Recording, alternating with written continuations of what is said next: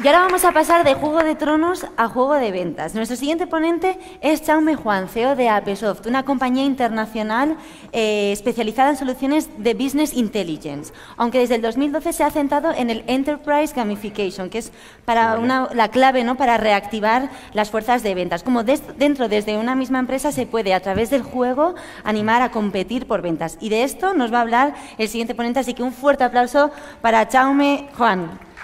Bienvenido, Chame. Gracias, gracias, gracias. Eh, bueno, primero daros las gracias por, venir al evento.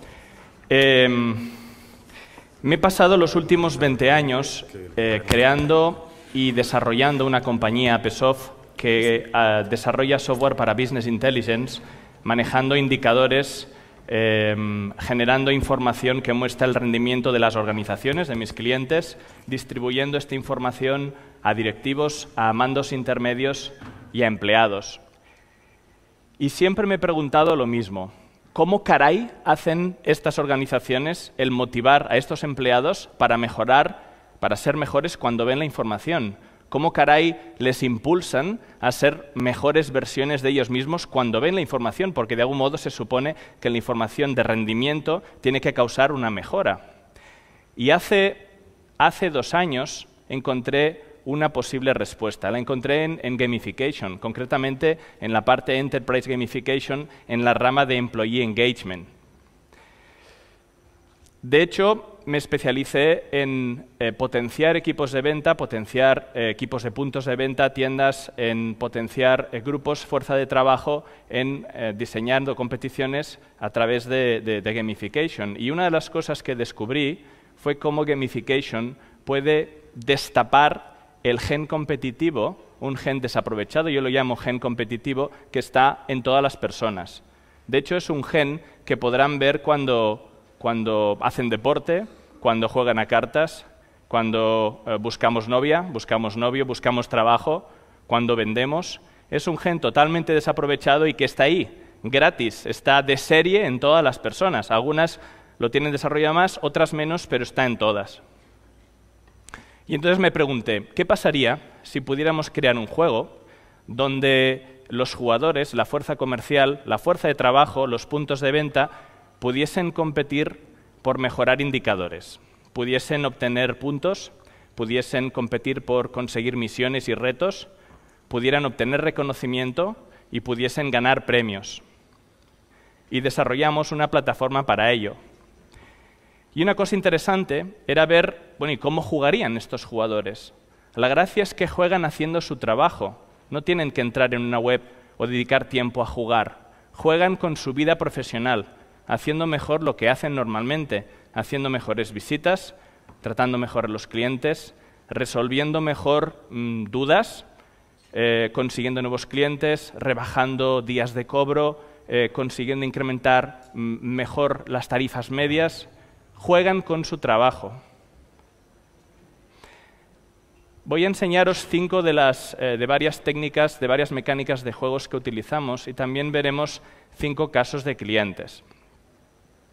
La primera es eh, esquemas de puntos o pointification. Al final tenemos que traducir el rendimiento de cada jugador cuando él recibe la información del juego, porque el sistema la genera semanalmente, mensualmente, para cada jugador personalizada y le muestra esta es tu situación en el juego, le muestra sus indicadores.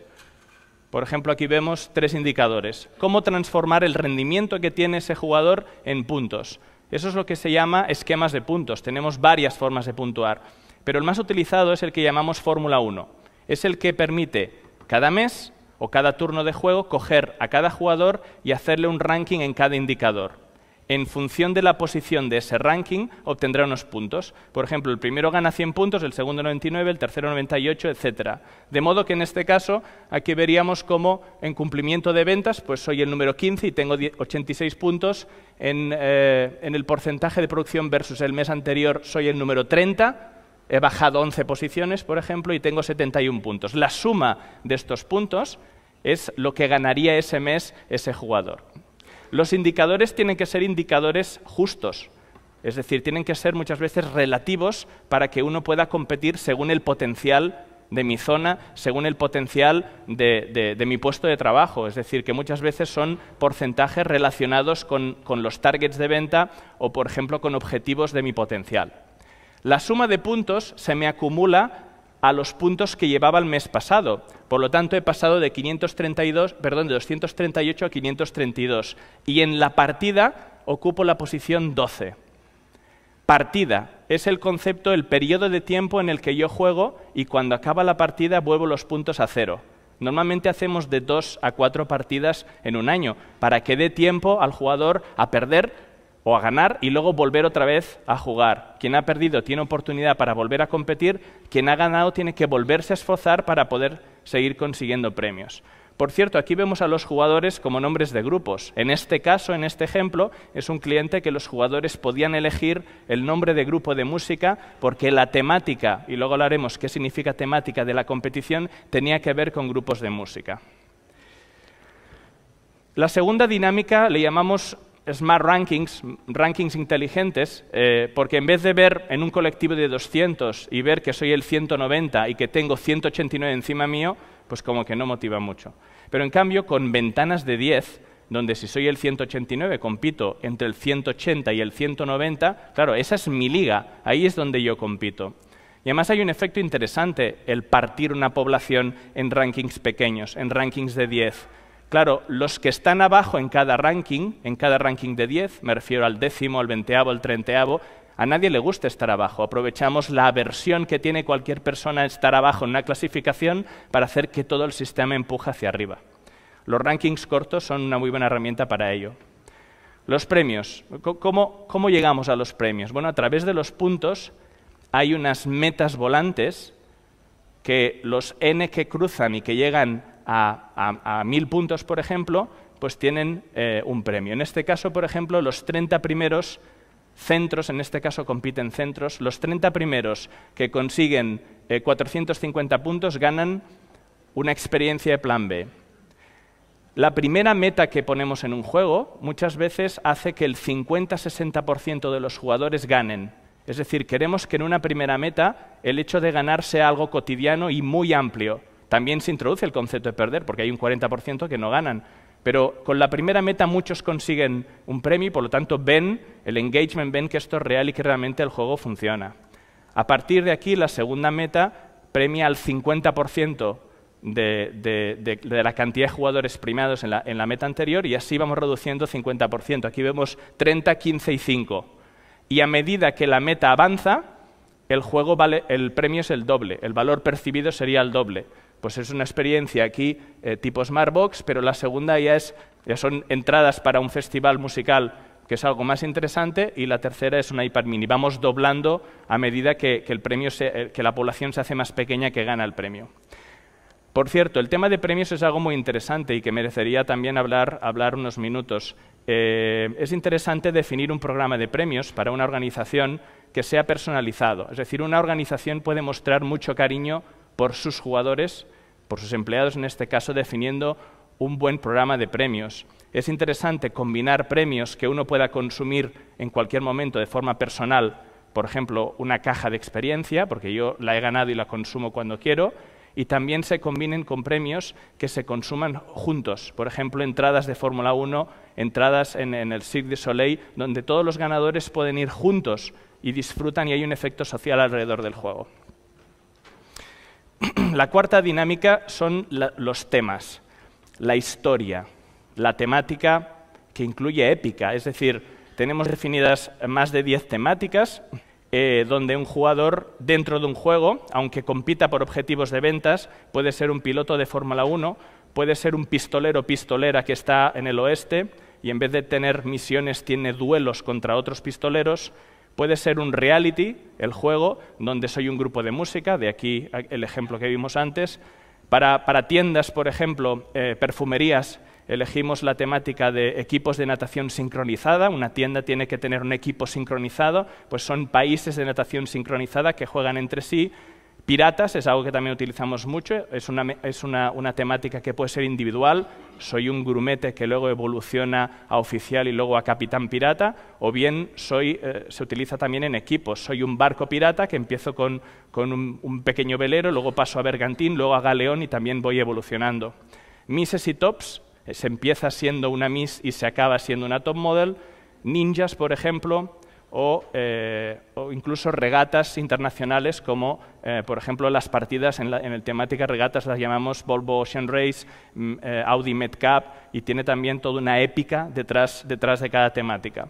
Las temáticas lo que permiten es hacer que el juego sea perdurable y pueda durar más porque vamos añadiendo elementos dentro de la historia.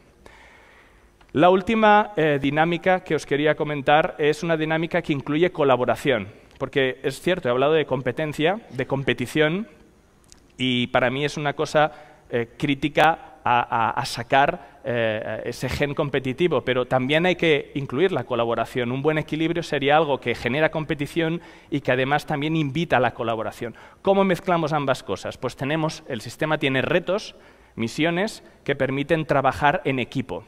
Por ejemplo, yo compito individualmente por unos objetivos, pero además tengo un reto de equipo, en este caso eh, sería conseguir la distribución del 70, en el 70% de mis clientes de un producto concreto y si mi equipo lo consigue, todos los miembros del equipo ganamos esto. Y aquí se produce una presión lateral y una ayuda entre los miembros del equipo para conseguir este objetivo. Veamos ahora cinco casos de clientes eh, eh, donde no, puedo mencionar exactamente el nombre, pero son muy reconocidos y estoy seguro que, muchos los van a reconocer. Eh, el primer caso es el caso de una reconocida marca de cosmética que tiene a 139 promotoras en el corte inglés compitiendo en 80 cortes ingleses. Es decir, compiten por equipos, compiten los cortes ingleses. ¿Y por qué compiten? Compiten por ver quién es mejor cubriendo su objetivo de ventas, compiten por crecer en dos productos estratégicos y compiten también por obtener lo que le llaman recetas, que es por obtener fichas de clientes.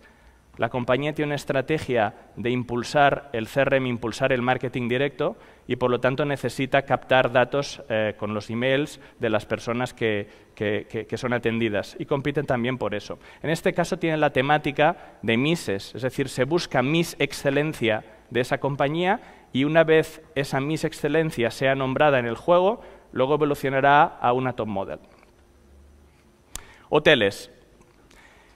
En uno de los grupos más importantes turísticos del país, una de las empresas es una cadena hotelera eh, que tiene presencia en 20 países y aquí estamos gamificando a los directores de hoteles. Ellos son piratas, utilizan la temática pirata eh, se hizo la presentación con toda una serie de elementos piratas, eh, que fue muy divertida, y compiten por el índice de satisfacción de los clientes que se saca directamente del TripAdvisor, es decir, incluso a la organización le daba igual si era el propio director del hotel que ponía los comentarios, lo que querían era comentarios realmente. Compiten también eh, por la venta dentro del hotel, lo que se llama la venta in-house, los upgrades, eh, los spas, las excursiones, y compiten también por mantener ajustado el coste operativo por cliente, lo que llaman COC. Uno de los líderes mundiales en alquiler de coches eh, ha gamificado con nosotros la fuerza de ventas corporativa. Son 20 vendedores eh, que se dedican a vender a grandes compañías los servicios de, esta empresa. Ellos compiten por objetivos de ventas, por alcanzar objetivos de, de adquisición de clientes, por mantener una tarifa media mínima y también por reducir los días de cobro. Se puede competir por reducir cosas, competir por reducir gastos, generar el patrón del buen ahorrador, en vez de castigar al que más gasta, ¿por qué no hacer un juego que promueva a los que mejor, mejor ahorren? Hace unos días estuve en un cliente, una cadena de supermercados muy grande, que gasta 15 millones de euros en energía. Simplemente compitiendo por, ahorrar energía, eh, eh, se podía ahorrar bastantes decenas de miles de euros en un solo indicador. Industria. Bueno, este caso me gusta mucho porque no está dirigido a ventas. Es decir, eh, en este caso compiten 66 controles financieros del sur de Europa, en 15 países distintos.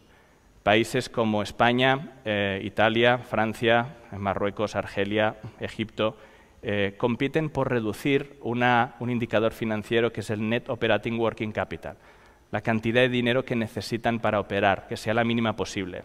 Compiten por cosas como pagar más tarde, cobrar lo antes posible y gestionar mejor los inventarios. En este caso, como, el jugador es un jugador más serio, un financiero, es un controller, en este caso no había temática, pero sí que había premios. Y por último, el último caso es eh, una cadena eh, líder eh, de dentistas en España. en esta cadena compiten por parejas. Es decir, en el diseño del juego se vio que en un centro dental la directora del hotel es normalmente la que atiende, del hotel, del centro dental es la que atiende las visitas y la recepcionista tiene un papel relevante que nunca se había incluido dentro de la gestión. Tiene un papel relevante porque está demostrado que de 50 visitas que vienen diarias en un dentista, a lo mejor hay 40 que vienen acompañadas y esa persona se sienta allí, está mirando la tele y la recepcionista puede estar allí, recomendarle cosas, mm, generar una mejor relación. Normalmente sabe si es el marido, si es la mujer, sabe un montón de cosas, por lo tanto juegan en pareja la recepcionista junto con la directora del centro. Entonces, en este caso, eligieron la temática de un reality. Es decir, en este caso se busca, el juego consiste en buscar cuál es el grupo que representa a esta cadena y cada centro es un grupo musical distinto, con lo cual también hubo la gracia de que cada jugador o cada pareja estuvieran eligiendo, eh, eligiendo qué grupo de música representaban. El juego se presentó en una sala de conciertos, hubo un grupo tocando, eh, de algún modo también los, jugadores están un poco alucinados porque venían a una presentación eh, de seguimiento de ventas y en cambio se encontraron con la presentación de la definición de un juego. Eligieron los grupos de música y la primera partida consiste en superar unos castings a través de los indicadores de negocio, es decir, que cada uno compite por mejorar, eh, por cubrir los objetivos de ventas, por proponer productos de más margen, por ejecutar realmente un alto porcentaje de lo que se ha vendido y luego la siguiente partida será el concurso en sí. Muy bien, eh, nada más. Eh, aprovechen el gen competitivo que hay en las organizaciones y utilicen el Enterprise Gamification. Gracias. gracias, Chame. Bueno, pues momento de preguntas. Por aquí tenemos una ya en primera fila, el micrófono. Mira, a ver, aquí en medio.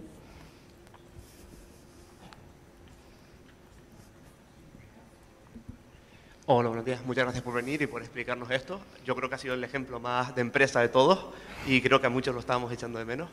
Mi punto de vista es cómo hacen, porque el enfoque, has mencionado la colaboración un poco pero yo no soy un profesional, estoy aprendiendo gamification y una de las cosas que siempre leo es mucho cuidado con potenciar demasiado la competición porque terminas mm, en una en lo que tú dices, no, las listas si son muy largas, los cinco primeros van a tope y todos los demás abandonan el juego y de hecho lo sabotean activamente, ¿no?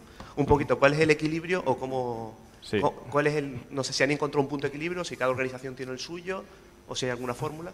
Muchas gracias. Gracias. Gracias por la pregunta. Una cosa eh, clave es que las reglas del juego sean justas y equitativas para todos. Es decir, no tiene sentido hacer competir por el importe de ventas, porque los que tengan mejores zonas de ventas son los que van a ganar. De hecho, siempre ganan. Ellos ya ganan variable, ya ganan comisiones, por eso venden más.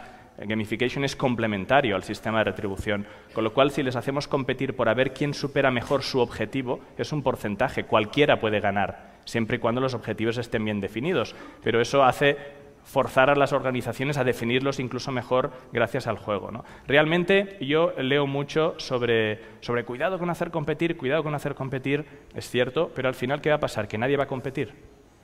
bueno, pues si nadie va a competir, entonces las empresas que compitan van a tener una ventaja competitiva. Por lo tanto, yo digo, utilicemos la competencia en su justa medida sana y equilibrémosla con el tema de la colaboración. ¿Había otra pregunta por ahí en medio? Vamos a ser muy concretos porque veo que el tema os interesa, así que tanto pregunta como respuesta lo más concreto posible. Gracias. Para ahí. Eh, buenos días. Eh, ¿Tenéis alguna experiencia gamificando al consumidor en lugar de al empleado? No, no tenemos por qué. Precisamente nosotros nos hemos especializado en gamificar al empleado. Gamification tiene dos grandes ramas que se diferencian bastante. Una es eh, eh, Customer Engagement, que es para consumidor, que, hay, muchas ponencias en el evento que van a hablar sobre esto, y es donde gamification, el 70% de las experiencias hablan sobre esto, y nosotros nos hemos especializado en employee engagement, en empleados. Detrás había otra y luego otra aquí. Eh, ¿Algún ejemplo de que no ha funcionado en lo que habéis hecho? Bueno, la verdad es que las experiencias, las experiencias son bastante nuevas. Es decir, eh, nosotros lanzamos nuestra plataforma el año pasado. Eh, los clientes que tenemos más avanzados están en la cuarta partida, es decir, que son partidas trimestrales, por lo tanto van a hacer un año.